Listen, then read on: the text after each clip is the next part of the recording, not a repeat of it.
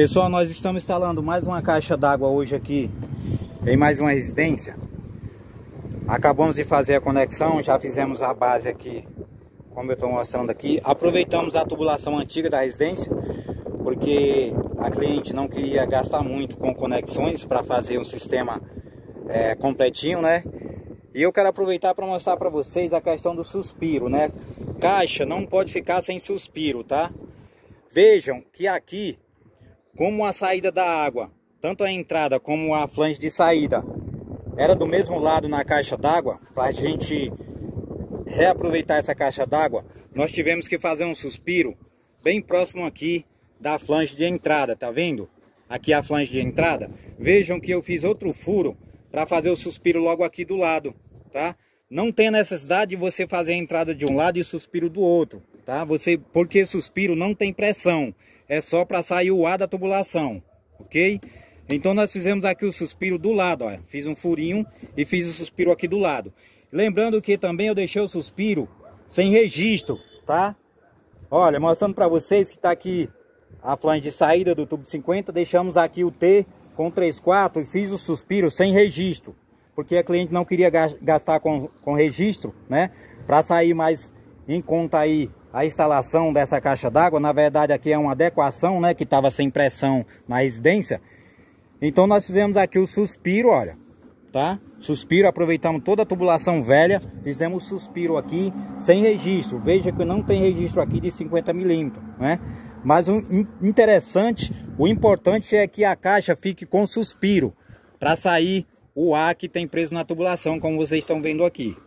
Então vejam que aqui é a flange de entrada e aqui é a flange do suspiro, ó, tá? Fiz o furo aqui próximo da flange aqui de entrada, não tem problema nenhum, porque aqui não tem pressão. Aqui é só para o ar da tubulação sair da tubulação, melhorando aí a pressão da sua caixa da, da água da sua caixa d'água, tá?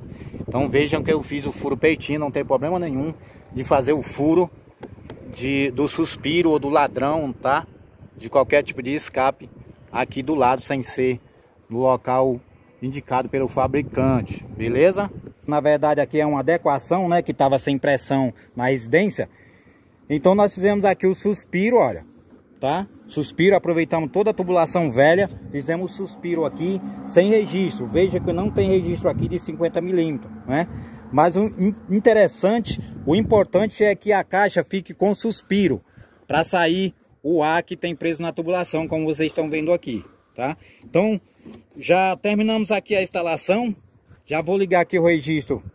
Todos foi reaproveitado, tá? Vamos ligar aqui o registro. Vejam que já está saindo água aqui na torneira de boia, né? Vamos esperar encher para a gente ver a tubulação de saída, né? Que é essa flange aqui de saída, beleza? Então, pessoal, nós acabamos de instalar a caixa d'água com suspiro, né? Nós fizemos a instalação do suspiro na caixa d'água, porque nessa residência a água da caixa não tinha pressão para acionar o chuveiro, né? Então nós fomos chamados aqui, acabamos de instalar a caixa d'água.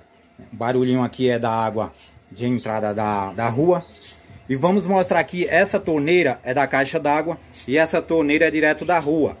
Então vou abrir aqui para vocês verem que a pressão da caixa d'água, e é porque ainda nem encheu a caixa, tá? Para vocês verem que tá igual com a pressão da rua, olha. Vejam que não tem diferença, né? Porque melhoramos aí a pressão da caixa d'água com a instalação simplesmente de um suspiro, ok? Aproveitamos toda a tubulação antiga e fizemos apenas acrescentando o nível da caixa d'água e instalamos aqui um suspiro, beleza?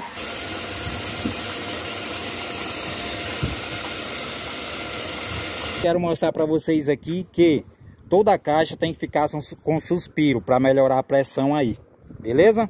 Então deixando essa dica aí para vocês, uma dica rápida aqui e mais uma instalação de caixa d'água, ok?